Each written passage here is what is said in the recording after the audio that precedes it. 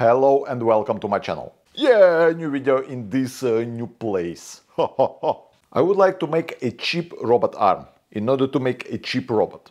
And for this cheap robot arm I need a cheap servo motor or actuator. So that's why I decided to use the 3D printing for this. And this is one of the attempts to do this cheap actuator.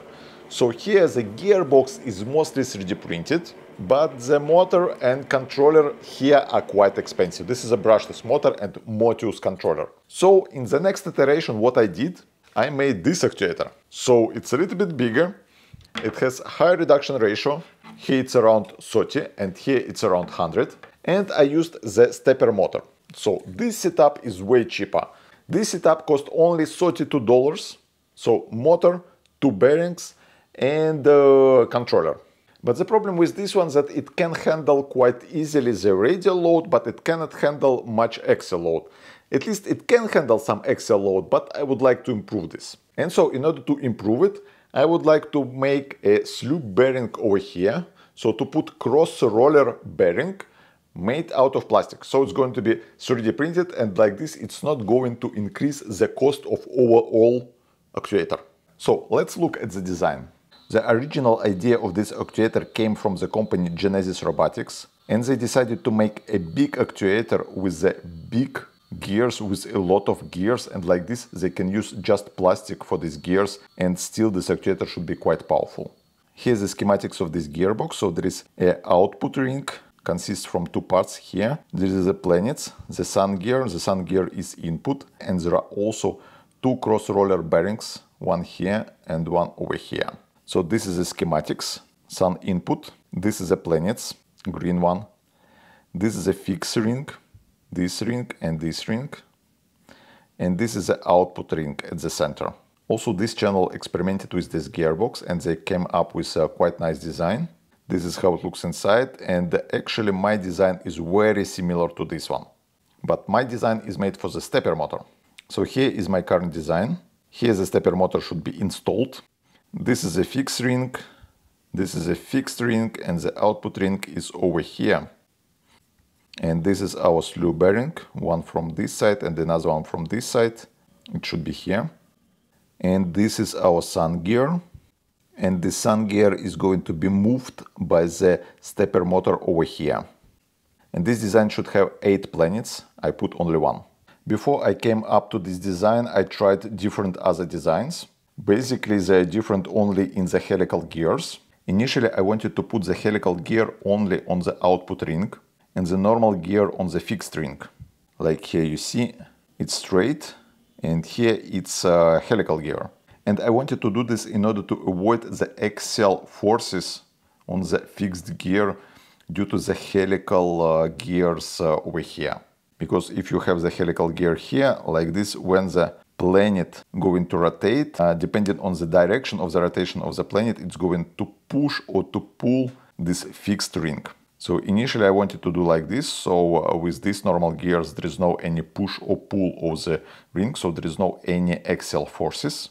But the problem is that this design is uh, not possible to assemble. Yeah, and so that's why I decided to go with the helical gears on both sides, on the fixed ring and also on the output ring, like here. And after I decided that uh, this is not a good idea, so I changed the reduction ratio. I came up uh, with this planet, with this output ring and with this fixed ring. And in this case, I can assemble this gearbox. But the problem is that uh, in this case, the planet is too big and I cannot fit 8 planets inside. So I decided uh, to do some kind of compromise. The compromise is that I still use the helical gears but I used the helical gears with a low angle, so it's almost uh, like normal gears.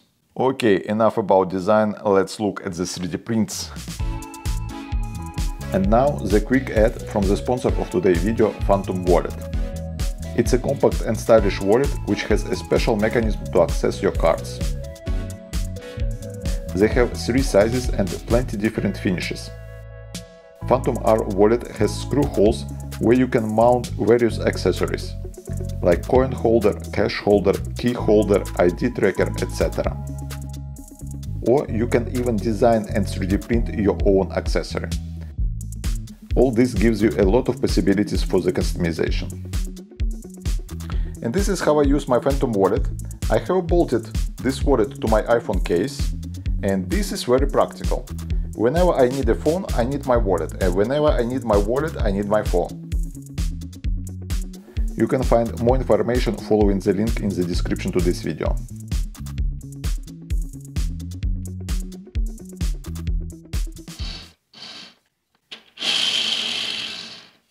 I have decided to start 3D printing from the bearing, from the slew or cross roller bearing. So here's the first iteration, you see the rollers, they're really cross roller. Each roller has a conical shape and this first prototype has a lot of play. So I need to take care of this. After multiple other prototypes, I finally get to this one, which does not have a lot of play, but it does not rotate so freely as before. And the thing which I don't really like that rotation is not very smooth. There are some points where it stacks. Maybe the lubrication will help, this we will check. And I think the problem why it stacks at some points is because of the seams just to show you what the seams are, here the seams. It's these points where the perimeters of the 3D printer starts and ends. And for example, here the surface is very smooth, but here we can feel this line. And I think such kind of line on each roller makes a problem.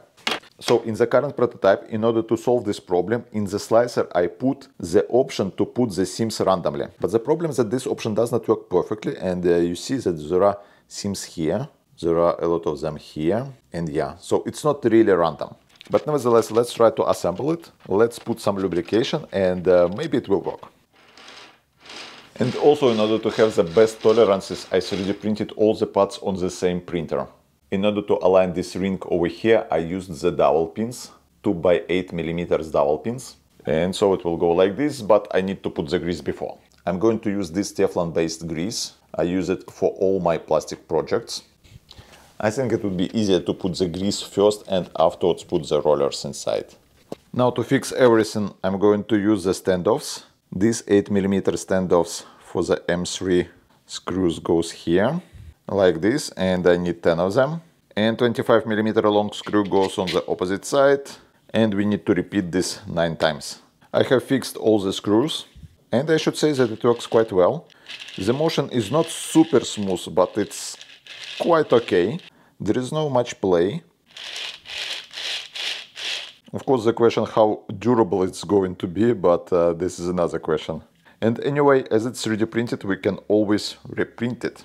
And for this actuator, I would need two cross-roller bearings like this one. So here there are the pieces for the second one. And this time I'm not going to forget to put the embedded nuts over here, like I did in this one. And I would fix temporarily these embedded nuts with the screws like this they are not going to fall. Also this time I will put first the grease and afterwards the rollers. The dowel pins are installed and we can put this ring over here, press it, put the screws and it's ready. And now they are two ready and so we will take care of the sun gear. This is the sun gear axis and here installed the M3 nuts and the dowel pins. To support the sun gear on the axis I would use two bearings. This is 6710 bearings. And this is how it looks the assembly of the sun gear with the axis and two bearings. Now when we have the sun gear, we can assemble the planet gears around it. In order to assist this assembly, I have made these parts. And let me show you how it's going to work. So this part goes here. So now it's like this.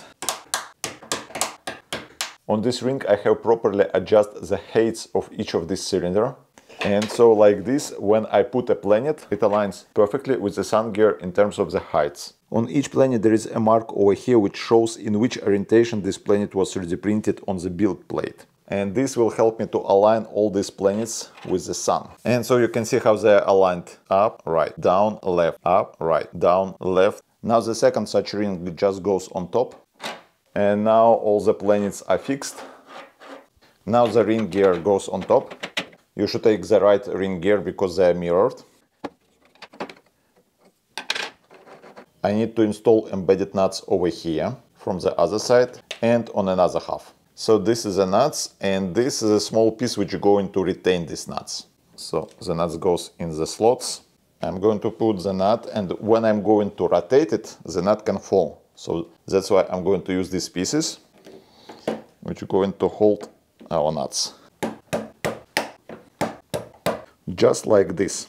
Also over here there are other places for the dowel pins, but I think it's going to be overkill, so I'm not going to use them. I think already these pieces and standoffs are going to provide a good alignment. The next important point that this part, so the part of the cross roller bearing, it should be aligned with the same piece over here. And yes, this is embedded nuts which fell off, so I need to put them back. So basically we need to align this piece and the same piece on another half.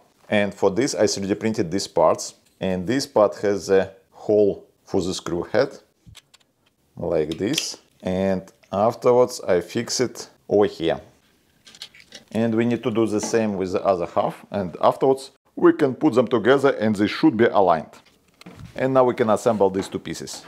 As you can see it's still not aligned perfectly. And to align it I need to push this part inside a little bit to put the planets and the sun gear in the middle like this it aligns and now I can push together two parts.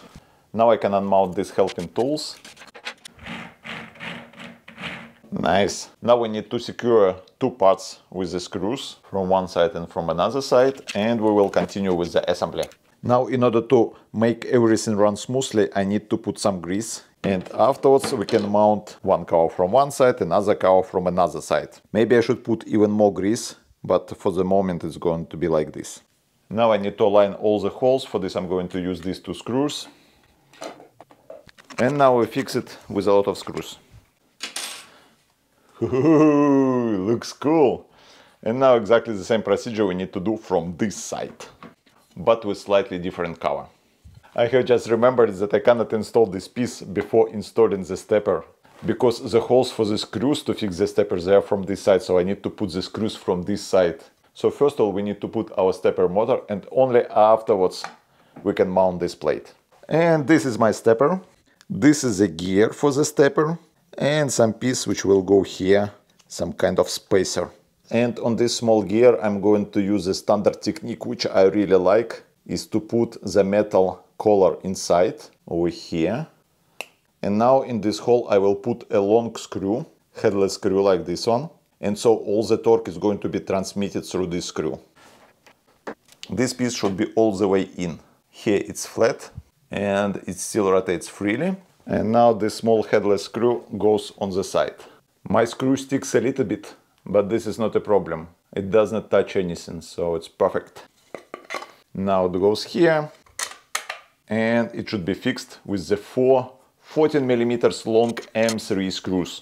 Now I just need to put the grease on this small gear and on this bigger gear and we can assemble it and like this is going to be done.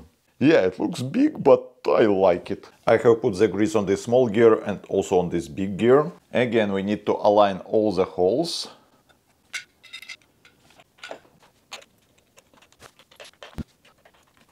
Ta-da! It's huge but I really like it and I hope it's going to work well. I think this is my best 3D printed gearbox. Now we just need to connect it and see if it works and how it sounds. I think it's going to be really loud because of these cross roller bearings. If it's going to work well, I'm going to use it in order to make the robot arm. So this is going to be three lowest joints, so the joints for the shoulder of the robot arm.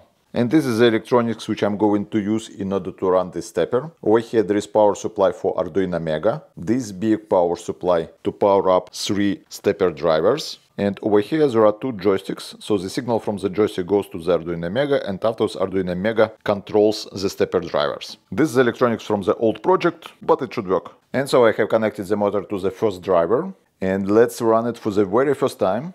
This part should stay fixed and this part should rotate. Let's uh, switch it on. No explosion. This is a good start. Ooh.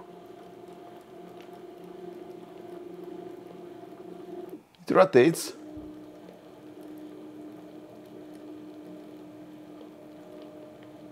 It's not fast, but uh, I was expecting this because the gear ratio is uh, quite high. By the way, these are the holes to mount uh, something on the output. Like for example, I will mount here the next joint of the robot arm. I think it's no way to stop it by the hand. I will hold it like this. No, I would not be able to stop it. No way. No way, fuck. I have also connected this gearbox, so this is a previous version, without cross roller bearings. And uh, let's just uh, run them together and uh, kind of compare them. It's not really comparison, just running them together. This one, the old version, is way more silent. But I think this is expected because it doesn't have any cross roller bearings.